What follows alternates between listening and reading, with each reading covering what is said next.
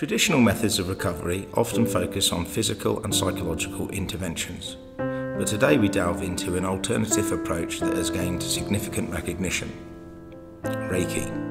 Reiki is not only helpful but transformative in addiction recovery. Reiki, a Japanese energy healing technique, has been practiced for centuries. It operates on the belief that life force energy flows through all living things and when this energy is disrupted, it can manifest as physical or emotional ailments. Firstly, Reiki promotes deep relaxation. During a Reiki session, a practitioner gently places their hands on or near the recipient's body, allowing the energy to flow freely. This induces a state of calmness, reduces stress, and relieves anxiety. Reiki practitioners use their hands to detect and address these blockages, facilitating the release of negative energy and promoting self healing. By removing energetic barriers, Reiki opens the path for physical and emotional recovery.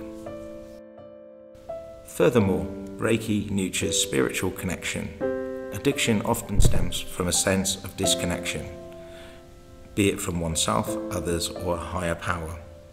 Through Reiki, individuals can tap into their inner selves, find inner peace, and regain a sense of purpose.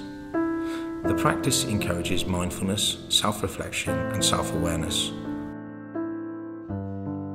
Moreover, Reiki empowers individuals to take an active role in their own recovery. This newfound tool enables them to manage cravings, reduce stress, and maintain emotional balance long after completing formal addiction programs. Reiki offers a path to healing addiction, one that addresses the body, mind, and spirit.